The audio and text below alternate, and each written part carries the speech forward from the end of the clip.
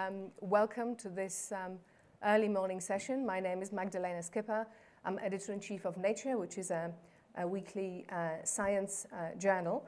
And uh, before I introduce my panel, um, I'll just very briefly set the scene uh, for what we're going to discuss here. So, of course, you will well know that uh, the focus of our discussion here is very beautifully framed um, with a, really a, an invitation to consider what happens when humankind overrides uh, evolution. And it's an interesting thing to consider because, of course, when we think about it, we think about synthetic biology, we think about uh, new biotechnologies, but in itself, humans uh, modifying uh, evolution or trying to, to, modify living organisms that um, are around us is, of course, not a new concept. Um, for a very long time in human history, we have engaged in trying to modify uh, organisms around us, of course, through classical breeding. You will be very familiar with examples from agriculture, be they plants that we consume today, our food crops, or of course, um, uh, animal stock, but of course, our very loved pets. They are all products of us trying to override and interfere with evolution in some way. But this is just the background in which to situate our discussion today. And so, to discuss the, the much more um, rapid interference, if you like, with evolution. Um, I have here today, um, I'm going to start from my right, uh, Kevin Esvelt, who is um, assistant professor at MIT um, Labs and head of uh, Sculpting Evolution Group. Uh, next to him is uh, Werner Baumann, who is an economist by training and CEO of Bayer. And um, over on the far right is Beth Shapiro. She is a professor in the Department of Ecology and Evolution, Evolutionary Biology at University of California, Santa Cruz. So thank you very much uh, for joining in this discussion. And I'm going to start with a general, general question to all of you, actually. Why is it that we need to or we want to override uh, evolution or engineer living organisms? I think um, as you said, this is not something that's new to humans. Um, I mean, the earliest records of us trying to change the way that species, the trajectory of different species evolution from the archaeological record date back some possibly 30,000 years with the first evidence of domesticated gray wolves or dogs in the fossil record. And since then, I think much of our motivation has been to come up with more efficient ways of turning carbon and nitrogen into more people, right? Um, mm-hmm. And the better we get at using what limited resources we have to produce enough food to keep us fed, the bigger our population is growing and the more we need to come up with newer, more efficient ways of of going through this same process. And uh, this has brought us to this stage now where we're using biotechnology, which really is a step change, I think. It's, mm-hmm. not, it's not the same thing as we've been doing. It's, it's not the same thing as classical breeding, and I think it's a bit disingenuous to say that it is. But that's, uh, uh, yes, uh, to meet our needs, our growing needs as a growing population. That's right. And so, of course, this is, this is one particular avenue where we've been um, overriding evolution. There are other aspects of it. Would either one of you like to comment uh, on this further? Yeah, uh, I mean, I can, I can only uh, uh second what, uh, what Beth uh, has been saying. what, what we are doing is we are looking at you solving problems in order to actually benefit consumers and patients alike. And what we are trying to do is, of course, to do it in the most efficient way possible and then also to use new technologies in order to uh, you know, solve problems that uh, were not solvable before or where problem solving took an awfully long period of time. If you look at traditional breeding on one side and then using, uh, let's say, biotechnology uh, to go and do precision breeding, where we look at uh, very, very specific uh, expressions of a certain property of a plant that we can then precisely enact or, or actually deactivate. Yeah, and that's what uh, what we are in for business, but that's also you know, what uh, what the company is all about, and many of our uh, uh peers are about. Yeah, mm-hmm. solving problems uh, to actually serve uh, the community and the people better. Yes, and that is what this is about. It's about attempting to build a better world. You say, why de- why defy evolution? For the same reason we defy gravity. Should humanity fly? Well, evolution is similarly an emergent law of nature. That is, when you have replicating information with variation, you get evolution. It's inevitable. That's how it works. But it being an emergent law, it's amoral.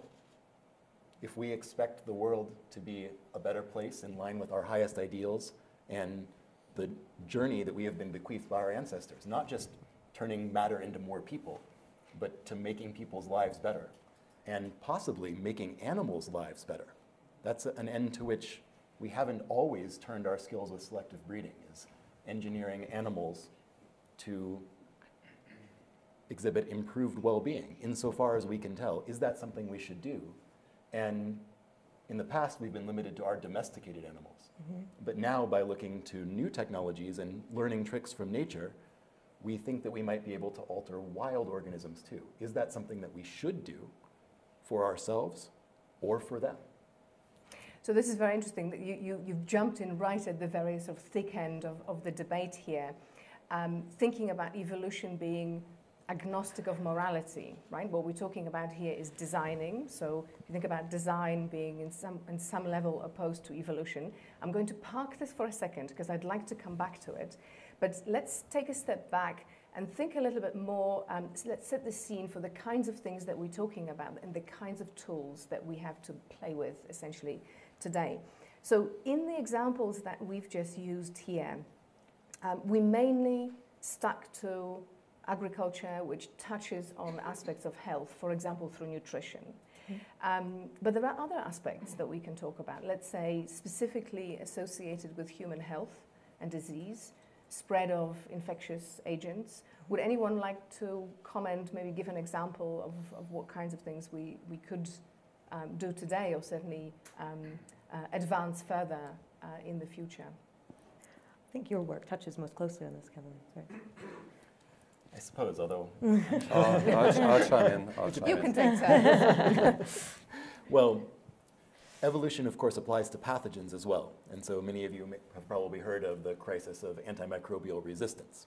Now, this is one that we probably can solve. Most of our antibiotics we discovered in nature. They're, they're the tools with which microbes wage war against each other, and we've merely adopted that same strategy.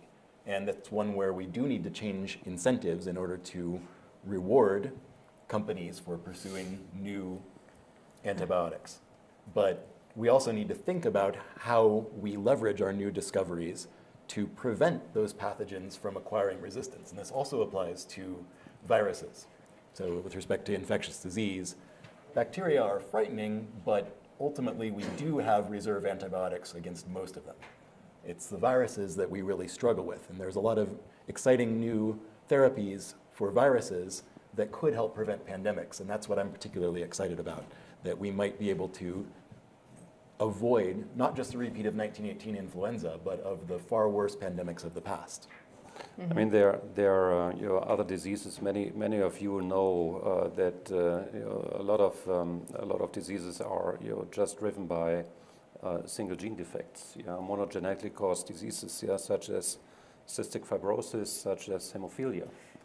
And uh, you know, the question is, uh, or you know, we asked ourselves the question a few years ago, um, what would be the holy grail yeah, for us as, as a pharmaceutical entity in best serving our patients? And of course, it's not the next best therapy for a chronic disease. Uh, you know, the holy grail is to move from a chronic condition to cure. And then the question is, are there new technologies out there that would allow doing that? uh, could we eventually cure people who are not curable today because they were born with a genetic defect that cannot be corrected? Today, we have that possibility. But I think this brings up Kevin's point about incentives. I mean, what incentive does a, a large pharmaceutical company have to cure someone? Uh, this loses their income stream. Well, I don't. I would not necessarily agree with that.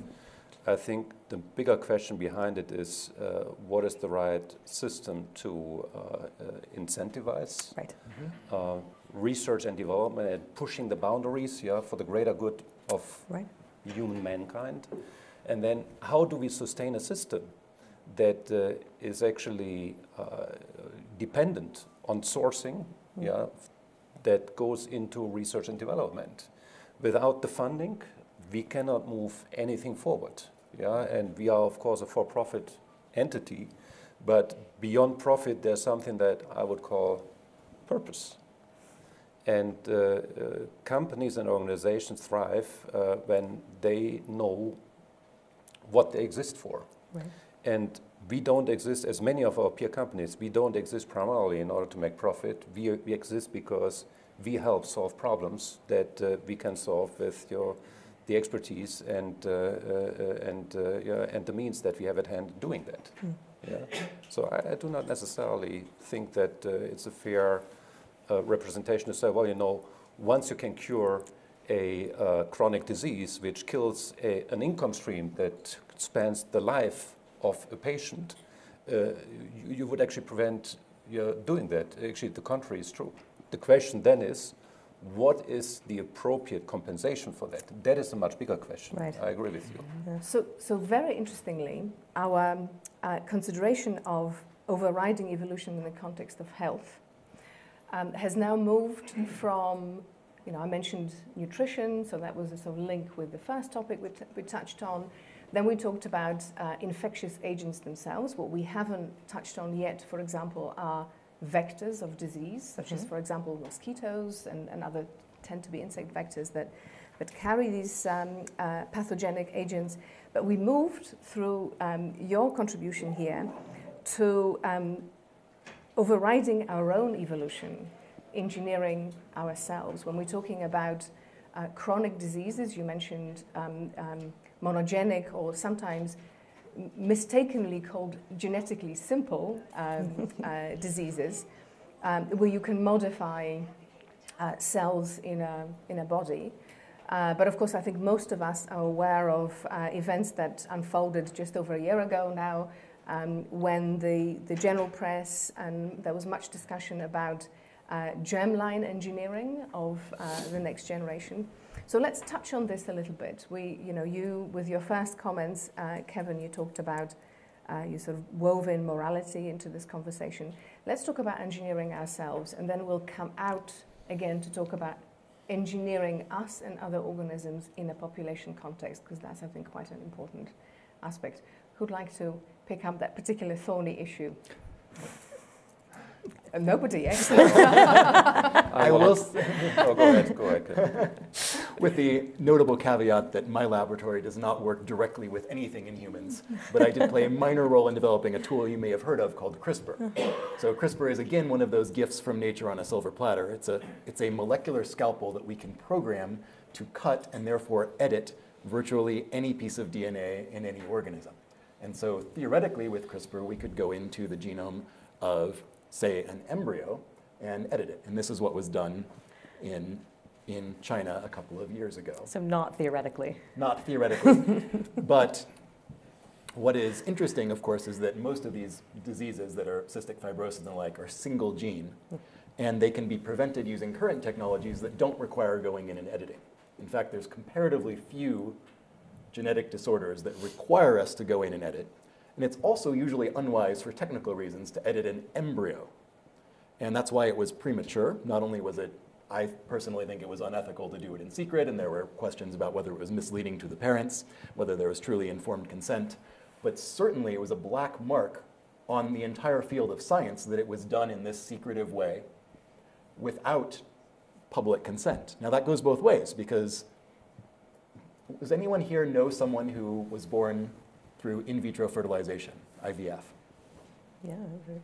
When IVF was first rolled out, about 90% of the public opposed it. So we do need to be careful because public attitudes do change.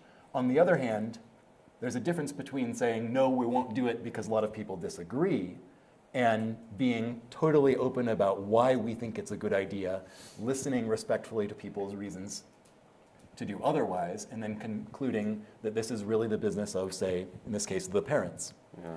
So I think one of the most promising aspects to come out of that unfortunate episode, which really did decrease trust in science, is that the World Health Organization has announced that they will host a registry for human gene therapy.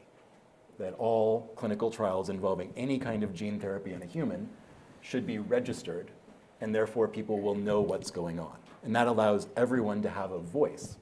Not necessarily a vote, but at least a voice. And of course, it, it um, uh, ensures transparency of, of the process. I mean, there, there's a few things that uh, come to my mind uh, on that topic. First of all, the question is there, does intrinsically good and bad technology exist? Yeah? Can you really qualify the properties of technology? Uh, and I believe that that's not the case. Very much the question on how you put it to use. You can put it to use for, I think, very, very noble causes, or you can do the opposite thereof. And what we need is, you know, we need um, actually both in academia uh, and also in business. We need proper guardrails, yeah, and uh, you call that regulation. And the issue we have is that, uh, uh and that's where I think uh, you know, academia and business are joined at the hip, that there is less and less trust in society for the advances of technology which makes our lives miserable. And the only way uh, to kind of you know, get beyond it is that we do a better job in terms of explaining what we are doing, what it is that uh, we would do, where the red lines are, where uh, we actively solicit uh, regulators and actually broader societal discussion yeah, in terms of uh, what it is we should and should not do. And uh, as Magdalena said, one of the key elements in it is uh, that we create absolute and ultimate transparency. Mm. Yeah, and, and only then will we be able to manage uh, you know, new technologies uh, for, let's say, you know, better solutions in whatever area those solutions lay. So it's interesting what, what you said also about creating a dialogue with the wider society. One of my favorite, so I'm, I'm originally trained as a geneticist, um, one of my favorite examples of where an argument has been lost as a result of lack of transparency but lack of dialogue and engagement with, with the broader society is um, GMO, genetically modified organisms. Uh, this, of course, is not a new story. It has been with us for a very long time. But I think at the time when it was unfolding, there was um, the, the discussion was left to those who were not necessarily very well informed about the subject area. And Beth has something to contribute here. you know, I, I, I, think there's a lot of confusion around genetically engineered or genetically yes. modified organisms, and and part of the problem is this lack of consistent regulation for different types of genetically modified mm-hmm. organisms.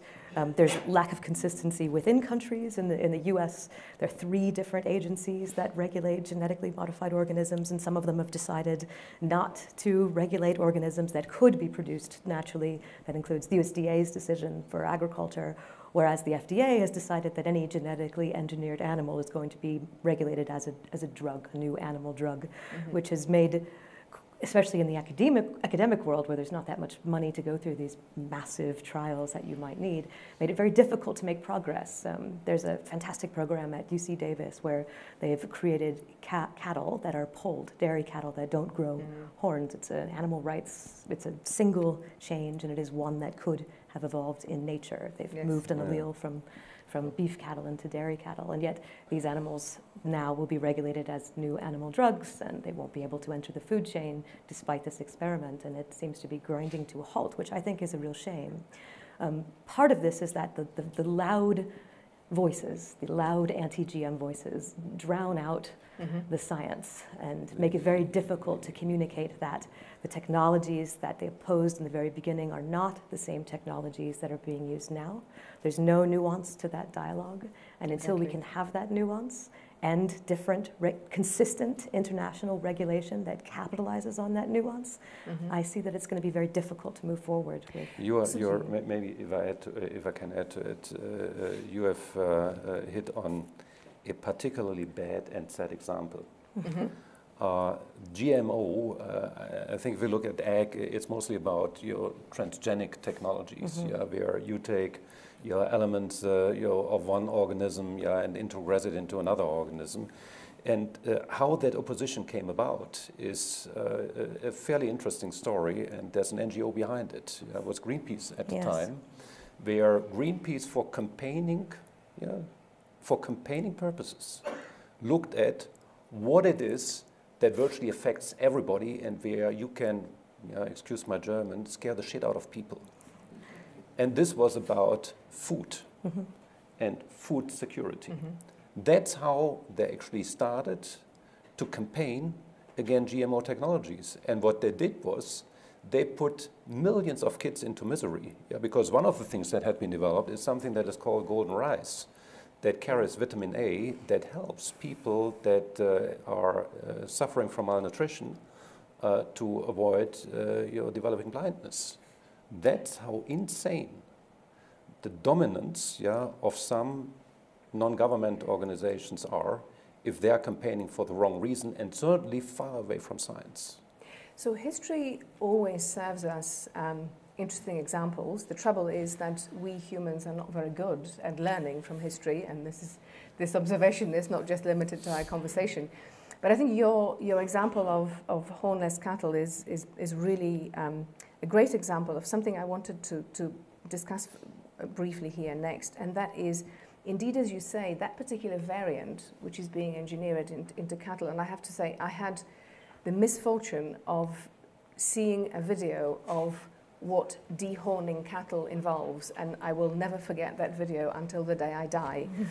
Uh, so this is a naturally occurrent variant uh, in the genome of wild cattle, which is now could theoretically be bred into cattle mm-hmm. using um, uh, classical breeding uh, techniques. Of course, there are much faster ways, which is what you were talking about. Today, we have technology which allows us to make such precision engineering mm-hmm. that actually the, the um, organism which is the outcome of that process is indistinguishable genetically and genomically from a naturally existing variant. Can you comment on this from the perspective of regulation and tracing of these designed organisms, which have actually been designed to recapitulate what has evolved in some setting? This is exactly what I was, I was uh, speaking of earlier. The, in the US, the USDA has decided that they would not regulate yeah. organisms that are naturally occurring in this way, where you could have created that organism by breeding. And with the example of the, the cattle, you could do this, but it would take 20 plus generations to rebreed all of the beneficial traits of being a dairy cow back into that cattle lineage if you use traditional breeding and cross them with beef cattle, for example. Mm-hmm. Um, it's unclear why the FDA has gone a different route and decided not to deregulate. This, these are not transgenic organisms in any way, and this is really what most people are yeah. most concerned about. Uh, it's actually essentially it's identical to nature. Yeah, so you can't tell the difference. And uh, we have seen different regulators in different places go different avenues. Uh, you know, one is, uh, of course, the question on you know, have we really understood uh, all the risks? Yeah, that's certainly an issue in Europe. Yeah, where uh, even in the ag space, um, you know, gene editing technologies that work inside of the genome are not regulated yeah, as identical to nature, uh, but they are you know, regulated under uh, the, the GMO regulation. The other thing in, in, in, that context is that uh, if you look at current practice, the question is, is current practice better? Mm-hmm. You know how, uh, or maybe you don't, uh, how uh, we get uh, your mutagenesis going. Mm-hmm. Yeah, you use heavy radiation or heavy chemical exposure yeah, in order to actually get variation, yeah, and then you, you, you take it from there. Uh, and then the question is, isn't precision breeding, yeah, if you want to call it that way, yes. yeah, or precision modification that could occur naturally. Isn't that the much better and much targeted way to go? Yeah, I think one of the great ironies, you know, the popularity of the non-GMO labels yeah. that you see at the grocery store when you wander around. They go, they're on everything. They're on salt, for goodness sake, yeah. which is, doesn't even have DNA. So how could it be modified? Um, but, uh, but you see it on the bottle of ruby red grapefruit juice, which is an example of a, of a citrus fruit that was created by this radiation breeding. Just zap it with as much radiation as you could think of. Thousands of new mutations emerge, and yet these are not considered to be genetically modified or genetically your, engineered. Your salt comment reminds me of um, a label which I saw on a packet of sugar, which said this is a fat-free food, which is exactly analogous to what you just described. Kevin. Well, the thing about the thing about this is that it's punishing us for knowing what we're doing. And this really speaks to something deep in the human condition that I think is unusually, unduly perhaps, although that's arguable, suspicious of applying technology to living things. That is, people are more comfortable with this notion that at random, we're going to, most people don't know we bombard our crops with radiation and chemicals in order to mutate them, create thousands of mutations who, Sure. that we don't characterize, that don't get regulated in anything other than the most cursory way for safety. That's okay. But going in and doing something where we know exactly what the change is and we're not making any other changes, that's not okay. That requires extra regulation. Mm-hmm. It doesn't make sense, but that's part of the legacy of mistrust. So if we want to do differently, we need to change our incentives. And I think that's why I'm going to push a little bit on you, Magdalena, oh, even though Yeah. you're moderator. Hmm. In academia, publishing in high profile journals, such as Nature being the, the premier journal, is everything. And if you tell us that we can only publish in Nature if we pre register our experiments, if we say, here is what we're going to do, and we need to find a community that is interested in the result of this new technology, and we can only publish if we do that, let me tell you, we will. We all will. And if we want to be moral, if we want to see improved consideration of morality in technology development, when technology is going to determine the future of our civilization, people respond to incentives. If you want to behave morally, put yourself in a situation in which you have incentives to do so. Very interesting. So I, I've made um, a note of this. I, I find your suggestion very interesting. So we've had um, a suggestion of uh, greater transparency, um, increased dialogue with many different stakeholders, um, a take-home message from me on Nature to um, push for more pre-registration of studies, which I completely agree with. Before I let you go, however, since you started the trend of um, putting forward suggestions of what should be done, I'm going to ask you both as well, what would you like to see, let's say in the next three years, uh, change in terms of be it regu- um, uh, regulation, legislation, um, um, technology, application? I know one thing you, Beth, work on a lot is aspects of conservation, which we haven't touched on here. Um, would that be perhaps one of the things you... You know, the, the reason that I like thinking about biotechnology and genetic engineering for conservation is I think that people fear it less than they do biotechnology for their food, what they're eating. Mhm. And I think we have potential. There's a possibility that we can make some progress to be able to communicate the nuances of these new technologies to the public more effectively through conservation. Um, and maybe that will feed back then into the agricultural realm and we can, we can make progress there.